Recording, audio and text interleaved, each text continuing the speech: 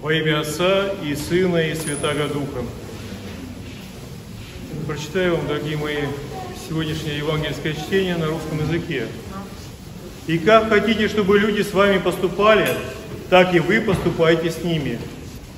Мы слышали эту заповедь и в другом месте, где Господь говорит, что заповедь о любви к ближнему равна заповеди любви к Богу. То есть, если нет любви к ближнему, значит нельзя и говорить, и думать даже, что мы имеем хоть какую-то каплю любви к Богу. Если любите любящих вас, какая вам за то благодарность? Ибо и грешники, любящих, их любят. И если делаете добро тем, которые вам делают добро, какая вам за то благодарность? Ибо и грешники тоже делают. И если взаймы даете тем, от которых надеетесь получить обратно, какая вам за то благодарность? Ибо и грешники дают взаймы грешникам, чтобы получить обратно столько же. То есть часто мы, делая добрые дела, очень радуемся и думаем, какие мы молодцы, мы сделали доброе дело. А вот Господь говорит, а ничего особенного мы и не сделали. Мы сделали ровно то, что должны делать все люди. И грешники делают то же самое. Обращу ваше внимание на то, что грешники дают займы грешникам, чтобы получить обратно столько же.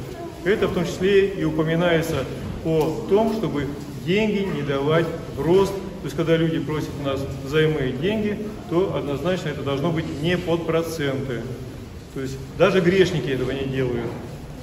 Тут я хочу еще уточнить один момент. То есть, вот есть такие слова в Писании, что от просящего не отвращайся, да, и взаймы, когда у тебя просят, то есть ты должен как бы давать всем просящим, да, у вас. И этой заповедью пользуются недобросовестные люди, не только неверующие, но иногда и православные люди. То есть они, скажем так, есть такая категория людей, которые не любят работать, любят жить за чужой счет, они знают Писание, кстати, и бесы знают Писание прекрасно, наизусть лучше всех нас, и цитируют его прекрасно. То есть, когда вот дьявол искушал Господа, он цитировал ему прямо Священное Писание. Проблем у них с этим вообще никаких нет. И вот эти люди, пользуясь доверчивостью хороших людей, добрых, которые хотят жить по Богу, исполняя заповеди Божьи, они приходят и занимают у них деньги иногда крупные суммы. И человек, и бывает и упоминают даже про священное писание, и человек иногда сам нуждается, но думает, ну как же, вот есть же заповедь, надо дать человеку денежку. Вот дает, и сказано же, ну не жди обратно, да, и грешники точно так же ждут обратно то, что дали.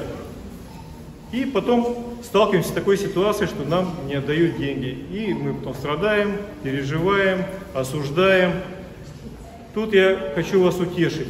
Я когда в свое время разбирался с этим вопросом, нашел слова Яна Златоустова, который обратил наше внимание на то, что когда мы даем и не надеемся получить назад, это имеется в виду небольшие суммы людям, которые нуждаются на самом деле, которым необходимо на пропитание. То есть, когда человек голодный, приходит тебя, просит взаймы, и ты понимаешь, что ему надо на хлеб, просто чтобы выжить, вот тогда мы даем как милостыню и не ждем обратно, что он нам вернет. И не требуем, тем более, этих денег назад.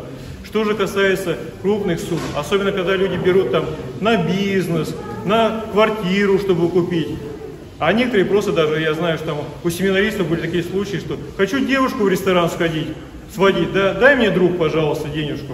А потом, когда друг просит, ну, возвращай деньги, он говорит, ну как же, тебе же Господь сказал, не жди обратно, да?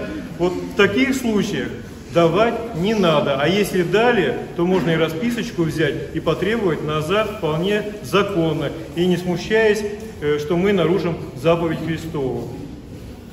То есть это вроде бы мелочь, но она многих касается из нас, и она нас беспокоит. Но вы любите врагов ваших, и благотворите, и взаймы давайте, не ожидая ничего. И будет вам награда великая, и будете сынами Всевышнего, ибо Он благ и к неблагодарным, и к злым. Итак, будьте милосердны, как и Отец ваш Небесный милосерд. Да будет так с нами. Подходите к Христу.